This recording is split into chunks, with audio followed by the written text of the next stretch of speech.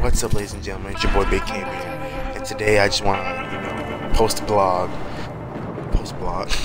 Sorry, I'm gonna just do one take, but um, I just want to post a video about a blog that I made back in August. And I just want to cite it over.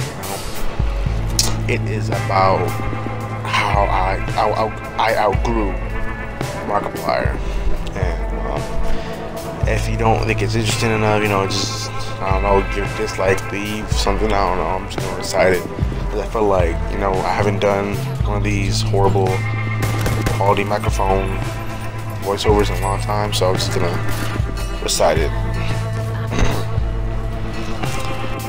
There's nothing wrong with Mark.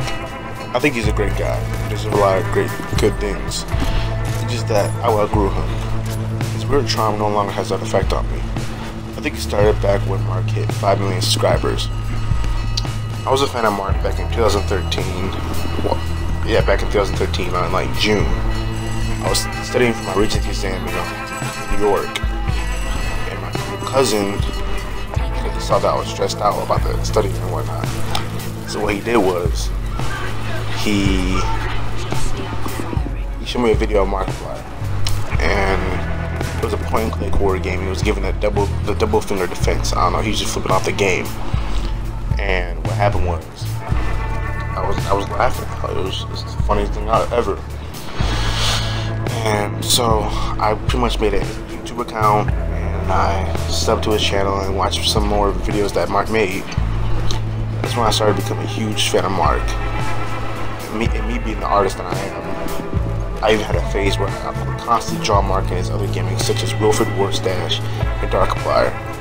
I even made a fan fiction story of him in literature class and got an A plus on it. Then his channel started growing.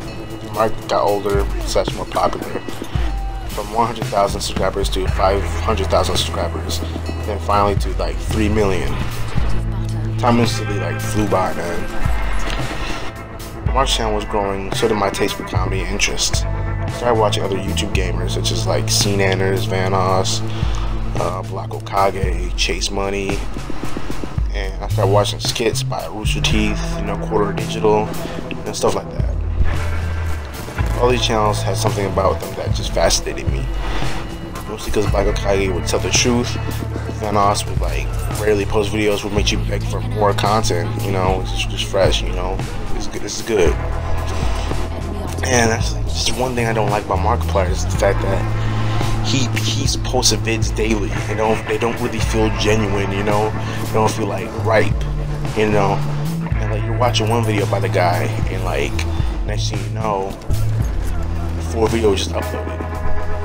And there's nothing wrong with that. It's just that I, they don't feel genuine to me. Like I feel like he's just posting out just for like cash or something like that. Plus, gimmick that he has kind of repetitive. You know, like the scream, you know, the screaming type of gamers. You know, you know the ones like Jacksepticeye and PewDiePie. Seeing at the moment they overreact and you scream. You know, it, it felt kind of repetitive. So I just outgrew that. And plus his look, you know, his new look just didn't sit well with me. Just before he dyed his hair, you know, his whole wave, yeah, look cool, you know, and no homo, he's a handsome guy. But I, I, I just miss, you know, I miss the Mohawk Markiplier, you know. One where he just posts like two to four videos per week or at least per month. It mostly consists of him trying to beat Vanish. I don't know, it's just my opinion, Markiplier. If you like him, if you if you like him, then more power to you. But um, I just pretty much outgrew the guy. I appreciate all the years he made me laugh, cry, and be grateful for life. I always remember Markiplier. But um, for now, I'm not really a fan of Markiplier. Barely watch his videos. I haven't watched videos in over two years, actually. And um, it's not two years, just one year. I haven't watched videos in over one year.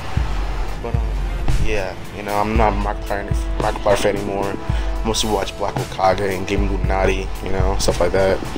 But um, yeah, that's pretty much the story of how I grew Markiplier. Follow me on Instagram at artistic.vigilante and follow me on Twitter at b1g underscore cam, big cam.